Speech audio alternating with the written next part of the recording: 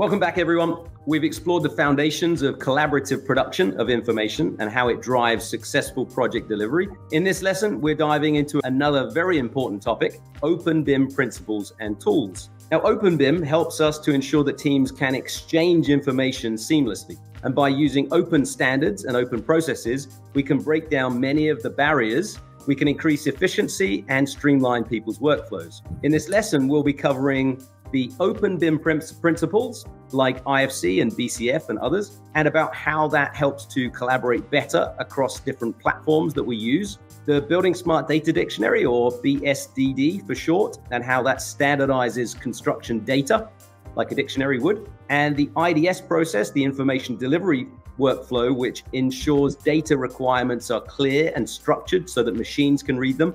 And finally, the COBie workflow to make sure that we're organizing data that can be delivered as an asset information handover in a more practical and organized fashion. Now, let's talk about common frustration many of us have probably faced interoperability issues with closed BIM workflows. Imagine you are working on a project and everything seems fine until bam, you are hit with this. Yep, you got the wrong file format, your software doesn't support it, and now you're stuck. You have to recreate or fix broken data. This is the exact problem that Closed BIM creates. Teams are forced to work within locked ecosystems where exchanging information is tedious and error prone. Yep. So, what exactly is Open BIM? Open BIM is all about using open standards so that we can share data seamlessly, regardless of the software you're using. Think about sending a PDF versus a PowerPoint or a slides deck or a Prezi file.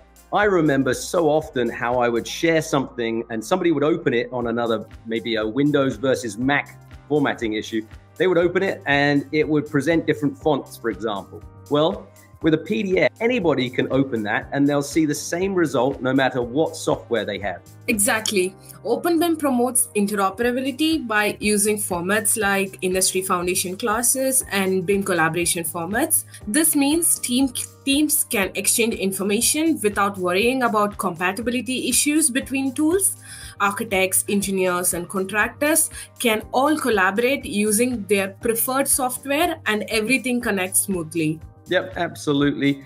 This is an example of the Open BIM workflow. It kicks off here with a key service from Building Smart called the BSDD, or the Building Smart Data Dictionary. It acts as a central hub of all of the terms that people can search through and get the same results so that everyone speaks the same language as they define their information requirements. From this dictionary, we use the Information Delivery Specification, or IDS for short, which is allowing teams to create standardized formats of information requirements so that everyone can understand exactly what the requirements are. The IDS allows us to define these requirements, create deliverables, and check information. It makes sure that everything can be aligned and works perfectly together. This is a proactive information management loop. And by following this workflow, we remove a lot of the inefficiencies and the waste that is often caused when defining and creating these deliverables using tools like Excel or a bunch of different maybe spreadsheet tools or potentially PDFs as requirements. If we're creating it in a much more standardized way, teams can understand, create, and check these deliverables more clearly. But of course, not everything always goes smoothly. That's where the reactive steps come in. If exceptions arise, like coordination issues, clashes, or uh, deliverables that don't meet the IDS requirements, we can use uh, the BIM collaboration format, BCF for short. BCF helps us to report issues and communicate them, and actually, each and every team member will see the issues in the same way in their native uh, environments so they can be resolved quickly. While we prefer to fix everything proactively before submission, BCF provides a streamlined workflow for finding, reporting, and fixing those exceptions when they happen. Let's talk about challenges we face in an industry when it comes to these standards and processes. We often hear all projects are different, or my project's unique, some form of that. And I've got my own standard. I don't need your standard. Lots of companies maybe establish their own ways of working their own processes and their own variations on a lot of different things, which can feel really necessary to drive projects forward sometimes. On top of that, accessing standards can sometimes feel like a real hurdle.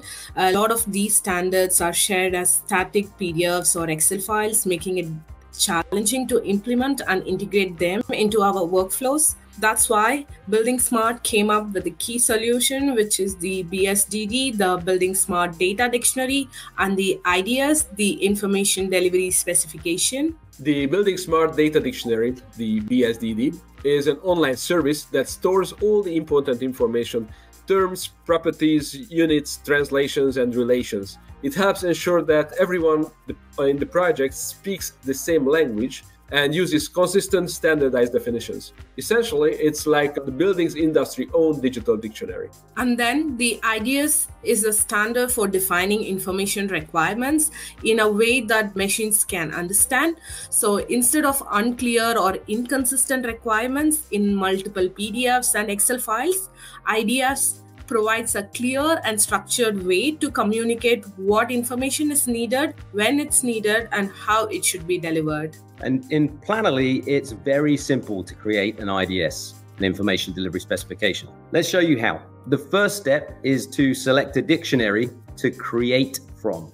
So we go to the project dashboard and in the project settings, we can select the data dictionary that we want to choose from. Here, I'm going to choose the Uniclass 2015.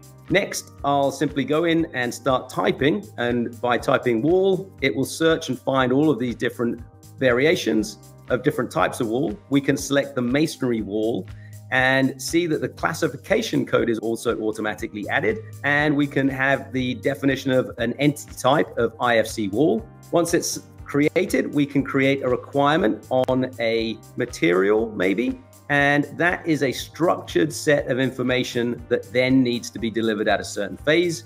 And by simply clicking to export an IDS file, then that's done. It's created. As simple as that. So we've created that requirement and we can also quickly generate others from potentially projects that we've done in the past. So that's how simple IDS can be. But have you ever tried delivering COBie data effectively? Have you ended up with a massive spreadsheet like this and thought to yourself, what is all this? What on earth is it? But here's the thing delivering COBie data doesn't have to be that overwhelming either. It's all about understanding how we can simplify its creation and its delivery using smart tools and workflows. So let's clear up the confusion and dive into how COBie works and how you can deliver it efficiently. What we are looking at here are three simple but powerful steps that streamline this workflow and reduce the manual effort. So let's break it down. First is the requirements. Here you define the information requirements for your project in a simple way, exactly like we have already covered in this series. These can be packaged into templates like the ones we use for COBie data and assigned to specific project milestones. This sets clear expectations for each step. Next step is the verification step. This is where the real magic happens. The model is checked automatically against those requirements to ensure quality assurance. The system flags if anything is missing or incomplete, and you can immediately see what needs to be corrected. Finally, we have the export step. Once all the requirements have been verified and everything checks out, you can automatically export the data, filtered for just the data that has been requested. No more wrestling with massive spreadsheets. This integrated workflow saves time and reduces the errors. The great part about this process is that it's far more efficient than manual work it's also reliable, automated, and ensures the smooth handover at every single milestone, so you can iterate through this process many times. Let's see how this works in action. Firstly, in the scope module, you can define all of your project information requirements. Here, we're looking at the library and picking using a filtered set of tags which information requirements we would like to bring in. I can select all of them and add them to the project. And then as we see all of them in the project, I can then filter for the ones that I would like to assign, again, by using specific tags. And when I have those filtered, I can then either select them individually or I can select all of them at the same time. In the grid, I'll start to filter for specific milestones and specific teams and tasks that I would like to assign these to. And then once I'm ready, I can simply click the box to assign all of those requirements to each of those tasks. And we can see them all underneath each task so that we know exactly what the requirements are for which elements on the project. Once we've done that, we can then see the model and check the model against those requirements. And once the model's checked, we can then export the COBie data automatically. What that will do is pull all of the values from each of the elements on the model and filtered just for the requirements that we are asking for and create us an export for the handover data. And it will all be in a format that's very familiar to people that have used COBie before. Here we can see all of the COBie data for the components, the systems, the zones, all neatly compiled into a single spreadsheet with one click. Plannerly simplifies that entire process from defining the requirements to verifying the models and also to automatically exporting those as a final handover set of data, making it accurate, efficient, and hopefully a lot less stressful. So remember don't plan late, plan early with Plannerly. We'll see you soon on the next one.